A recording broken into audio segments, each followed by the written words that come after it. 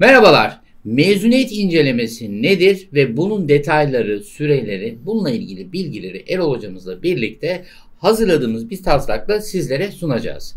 Hocam mezuniyet incelemesi nedir? Öğrencimizin öncelikle merak ettiği konu bu. Hocam mezuniyet incelemesi aslında öğrencimizin mezun olmanın son aşamasına geldiğini gösterir. Yani öğrencimiz e, 192 krediyi tamamlamış. Ortak derslerini bitirmiş. E, 8 dönemi geçmiş. Fakat henüz bunun incelemesi tamamlanmamış.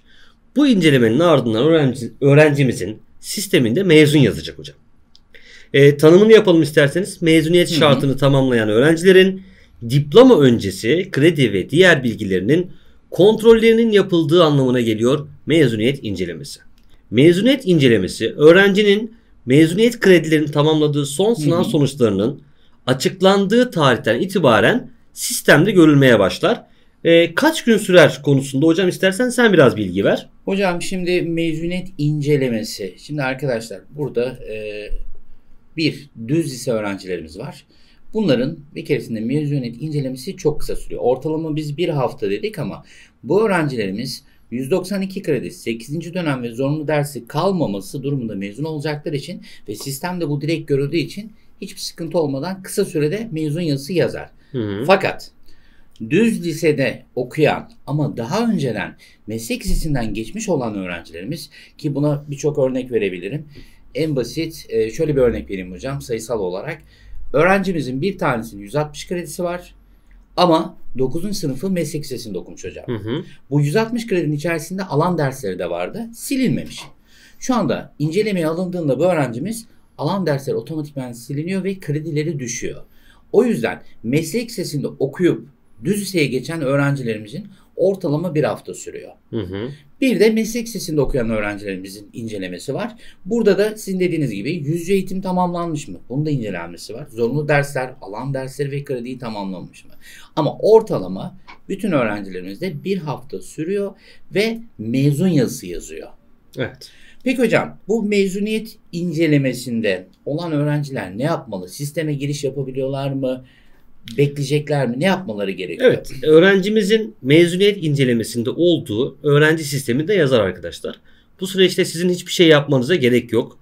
Ee, bakanlık tarafından sizin kredileriniz, az önce Doğa hocamızın bahsettiği özellikler incelenir. Bu incelemenin sonunda mezun olmanızda herhangi bir engel yoksa sistem size otomatik olarak mezun eder ve sisteminizde mezun yazısı yazar. Dilerseniz mezuniyet incelemesiyle ilgili diğer sorulara da bakalım hocam. Hemen hocam. Mezuniyet incelemesinde olan bir öğrencinin hangi bilgileri e, inceleniyor? İstersen tek tek bu e, maddeleri e, kontrol edelim hocam. Kayıt evraklarının geçerli olup olmadığı, e, açık liseye kayıt olduğunuz zaman e, kayıt evraklarınızı teslim ediyorsunuz. Ortaokuldan mezun olanlar diplomalarını, e, tasdikname ile gelenler tasdiknamelerine ya da e-okuldan geçenler e-okul bilgileriyle geçiyorlar. Bu evraklarda herhangi bir eksiklik, aksaklık var mı? E, eksik ya da fazla ders yüklenmiş mi sisteme? Bu inceleme yapılıyor. Hı hı. İkinci maddeyi sana atıyorum hocam. Öğrencilerin kayıt esnasında getirmiş olduğu belgelerdeki aslında söylediğiniz şeyler. Evet, Tahsilatname, denklik belgesi, notları sistemde doğru işlenip işlenmediği ki bu çok önemli hocam. Neden önemli? Çünkü yanlış girilen not hani e, yanlış Bağdat'tan döner derler ya. Evet. Mezuniyet incelemesinde karşınıza çıkar ve krediniz düşer arkadaşlar. Buna herhangi bir şekilde şikayet de edemezsiniz. Çünkü bu bir verilmiş hak değil, yanlış yapılmış bir şeydir. Evet. O yüzden buna dikkat edelim. Üçüncü de sizde hocam. Hocam devamsızlıkların dikkate alınıp alınmadığı. Şimdi açıkçası öğrenciler neden biz devamsızlıklarımızı e, kontrol ediyorlar. Biz derse girmiyoruz diyorlar. Mesleki açık Evet. lisede okuyan öğrencilerimiz yüz yüze eğitimlerde devamsızlık e, yapmamak zorundalar. Dolayısıyla bu öğrencilerin devamsızlıkları kontrol ediyor. Dönemlerin doğru işlenip işlenmediği ile ilgili hocam ben Bu- burada bir detaya girmek istiyorum. Ek sınavlar olduğu zaman bazı öğrencilerimize sistem ek sınava girme hakkı olmadığı halde ek sınava alıyor. Öğrenci de bunun farkında değil, bakanlık da farkında değil. Fakat bu mezuniyet incelemesinde çıkıyor. Bir örnekle açıklayayım hocam. Buyurun hocam. Öğrencimizin dönem sayısı 4 ve ek sınava girmiş. Fakat ek sınav şartlarında en az 8 dönem olanlar sınava girebilir diyor. Bakanlık buna müsaade etmiş, sistem buna müsaade etmiş ve öğrencimiz sınava girmiş. Bu öğrencimiz bu sınavdan da 27 kredi almış örnek. Evet.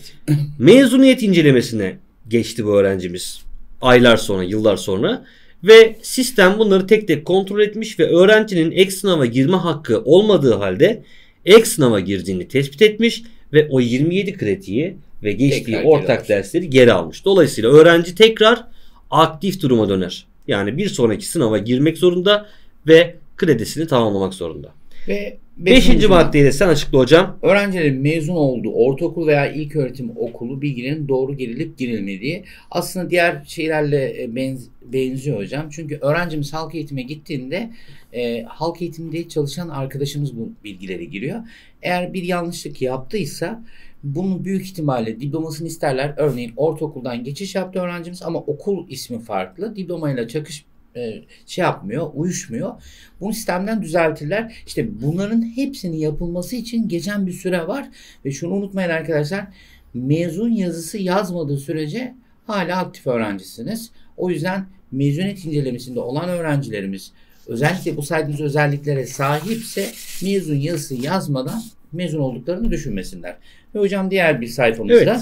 İnceleme sonucunda az önce bahsettiğimiz inceleme sonunda sisteme yanlış işlenen verilerden dolayı mezuniyeti olumsuz yönde etkilenen öğrencilerin öğrencilik durumu aktif hale getiriliyor arkadaşlar. Yanlış veriler düzeltiliyor ve öğrenci tekrar aktif öğrenciye yani kayıt yenileme durumuna geliyor ve bir sonraki sınava girmesi gerekiyor. Öğrencilik durumu aktif yapan öğrenciler mutlaka ek sınavlara veya dönem sınavlarına girmek zorundalar. Daha önceki videolarımızda bahsettiğimiz gibi hocam son işte paragrafı da sen istersen oku ve bitirelim. İnceleme sonunda mezun olan öğrencilerimizin işlemlerini yaptırdığı halk eğitim merkezinden mezuniyet yazısı veya çıkma belgesi alabilirler. Çıkma belgesi dediğimiz olay da zaten geçici mezuniyet belgesidir. Ee, bir süre sonra bu E-Devlet'e düşecek. E-Devlet'ten de alabilirler. Hocam e, çok özür dileyerek şurada e, çünkü birkaç mesaj geldi bununla ilgili. Hani kredi şartları 192 ya hocam. Ee, öğrencilerimizden şu mesaj geliyor. Benim 200 kredim var ama hala aktif gözüküyor. Neden mezuniyet incelemesine alınmadım? Öğrencimizin zorunlu dersi kaldığı için krediye bakarak mezuniyet incelenmesine alınmaz arkadaşlar. Diğer şartları da tamamlaması gerekiyor. O yüzden zorunlu dersi kalmaması gerekiyor ki bu incelemeye girsin öğrencimiz. Evet hocam benim ekleyeceğim farklı bir şey yok burada.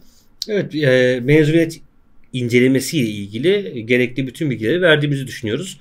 E, diğer tüm sorularınızın cevabını Instagram hesabımızdan sizlere vermeye devam edeceğiz arkadaşlar.